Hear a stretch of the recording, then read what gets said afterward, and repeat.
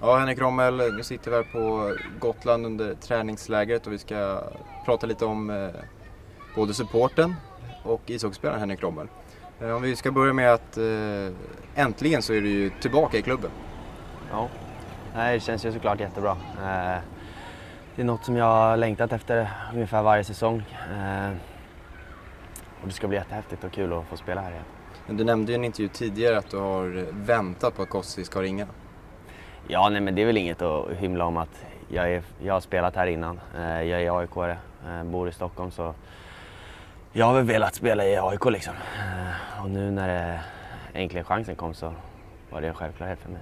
Vad var känslan när du svarade i telefonen och Gossi på andra, andra linjen? Jag blev glad först och främst.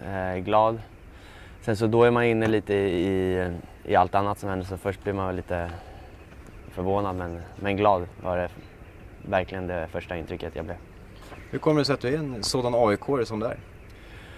Eh, jag tror det började jättetidigt. Jag började gå på fotbollsmatcherna. Det var pappa som tog, tog med mig redan när jag var jätteliten. Då. Eh, och sen eh, uppväxt precis vid Råsunda så då blev det väl att jag gick på mycket fotboll. Jag började i AIK direkt eh, i fotbollen eh, först och sen eh, så småningom i, i hockey så blev ganska enkelt eh, att bli en så kallad supporter. Så fotbollen var inkörsporten till... Ja, det var, det var första i alla fall. Eh, jag började spela fotboll innan jag spelade hockey och framförallt gå på fotboll eftersom det låg så nära till. Då. Sen hockey blev, eh, växte väl mer och mer och till slut blev det hockeyn som jag tyckte bäst om. Om man följer på sociala medier så ser man ju att du gång varannat är på Norra Stå också och ser på fotbollen. Eh, ja, ja, eh, jag har haft årskort där sedan dess och jag känner att eh, jag är väl lite av en rutinmänniska. Jag vill inte byta. Jag trivs bra där och det är kul, speciellt nu när det går så bra för dem också. Sen eh, har du också en AIK-tatuering på dig. Ja, precis. Var sitter den? Eh, här sitter den. Men eh, det är väl en sån sak som man har fått gömma lite när man spelat i, i andra lag då. Eh, eller gömma, man, man pratar inte om det liksom men nu när man kommer hit så, så uppskattas det och det, ja, det är kul. Kan man säga att du spelar eh, för klubben i ditt hjärta? Ja, verkligen. Eh, du har ju varit tvungen att spela mot AIK också mm. under din karriär. Hur uh, har det varit?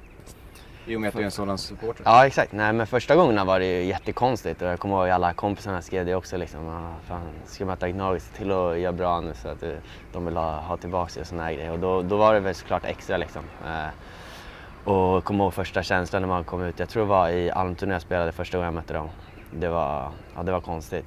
Eh, men eh, sen blir det till slut en vardag. Nu har jag spelat i Allsvenskan ganska många år i rad och var möts man fyra gånger varje år och plus någon extra match. Så till slut så blir det ju lite vanligare. Det blir ändå en match i mängden men jag har ju alltid varit... Man blir lite extra sugen och, och vill göra bra ifrån sig såklart. Många supportrar gillar ju att ha med urgnagare i truppen. Eh, men kan det även vara jobbigt att vara en så pass AIK, AIK och spela för laget också?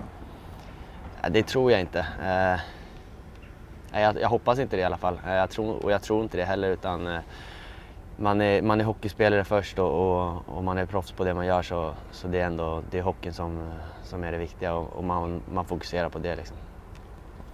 Tiden efter din förra AIK-session så yes. hamnade du först i juniorligan i USA. Hur mm. var det att spela i USA? Eh, också lite annorlunda. Eh, svårt tyckte jag första 20 matcherna. Ehm, komma in, det är lite annorlunda spel, lite rakare, lite mer fysiskt. Så första 20 matcherna var svårt men sen eh, tyckte jag det var roligt och en stor och bra erfarenhet också. Hur var det utanför rinken också?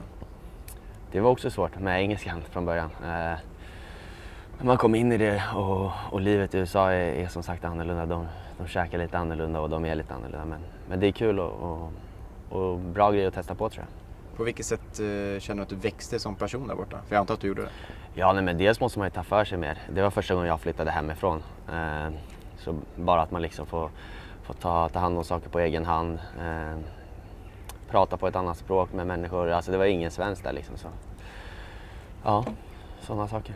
Därefter så vände du hem till Sverige igen mm. och eh, division 1 och därefter Almtuna, Karlskoga och Vita Hästen. Hur var det att få börja om i division 1? Det var väl lite jobbigt tyckte jag. Eh, jag tyckte att eh, dels hade jag ju som en tryout möjlighet innan jag åkte över i Allsvenskan. Så och kom tillbaks tyckte jag då som en bättre spelare så jag, jag hoppades väl och, och trodde att jag skulle få allsvenskan. Men eh, jag började som sagt i ettan. Det vart snabbt, jag tror det vart 12 matcher eller något och sen fick jag chansen i Almtuna. Så det, hur många säsonger hade du orkat spela i division 1 innan du hade gett upp? Nej men det vet jag inte, ge upp, ge upp eller sådär. Alltså hockey är det jag tycker är bäst om eh, av allt. Så jag vet inte om jag hade gett upp så, utan jag spelar hockey för att jag tycker det är väldigt roligt. Men sen vet man inte. Man kanske hade spelat i något, något lag närmare Stockholm efter ett tag, självklart. Men, eh, nej, men jag kände inte att detta var det jag ville vara. Och jag tyckte inte att jag var, jag tyckte inte jag var på den nivån. Så jag kände mig aldrig riktigt som det, utan det var som ett snabbt stopp och man fick eh, spela mycket. Eh, du kommer från en poängstark säsong i Vita Hästen. Eh, vad gick så bra för din del? Ja, det var framförallt i powerplay som det gick bra. Eh, vi spelade väl ganska defensivt så 5 mot 5 spelet för hela laget var ganska trögt offensivt. Så det var väl framförallt det som gjorde att jag gjorde lite mål och så. Sen hade vi en tung säsong som lag också men ja, det var skönt att vi klarade kvalet i alla fall och att man fick bidra ganska mycket där också. Det var en skön känsla att få. Många poäng i powerplay. Siktar du på att ta en roll i powerplay i AIK också?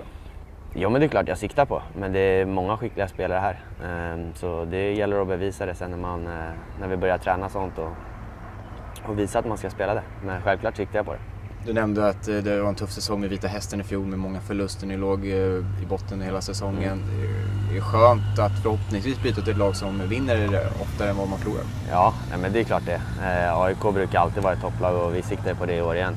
Ehm, det sitter lite i väggarna i AIK liksom att det, är ett topplag och en stor förening. Så, ja, det ska bli skönt att få, få spela här igen. Förutom poäng i powerplay, vad känner du att du kan bidra med till laget i år? Nej, men jag hoppas kunna bidra mer 5 mot 5 och det känns som att vi har ett eh, lite eh, offensivare tänk här. Ganska, man får våga och försöka rätt mycket. Ehm, så jag hoppas väl kunna bidra offensivt framåt eh, i eh, 5 mot 5 också men framförallt ett mycket skridskoåkning. Det är en av mina starka sidor. Ehm, och sen utanför isen så brukar jag ha ganska kul och förhoppningsvis så kan jag mm, skoja lite och ha en avslappnad stämning. Finns det en risk att supporten Henrik Rommel tar över ishockeyspelaren Henrik Rommel på isen under match? Nej, det skulle jag inte säga, men jag kommer nog bli lite extra glad varje mål. Men eh, det ser jag bara som, som positivt. Ehm, men nej, utan när man är på isen så är det, då är det hockey. Vi möter Vita Hästen i premiären, din gamla klubb. Mm. Betyder det någonting extra för dig? Ja, det blir lite samma, inte samma sak som när man mötte AIK första gången, men det blir ändå mycket gamla spelare som man har spelat med. Det är klart det kommer bli lite extra. Premiär och det på samma gång, så självklart lite extra. Vad ser du mest fram emot då kommande säsong? Eh, det får nog bli den matchen nu. Det är den jag har siktat in mig nu på. Det blir lätt så under en lång försäsong att man tänker på den första matchen. Liksom. Eh, Vita Hästen hemma på Hovet. Eh, så mycket längre än så har jag inte kommit i tanken. Sen så är det klart att man gärna drömmer bort sig och sådär men samtidigt så gäller det att stanna i nuet utan det är vårt första mål så där jag siktar. Sen tar vi det vidare därifrån. Exakt.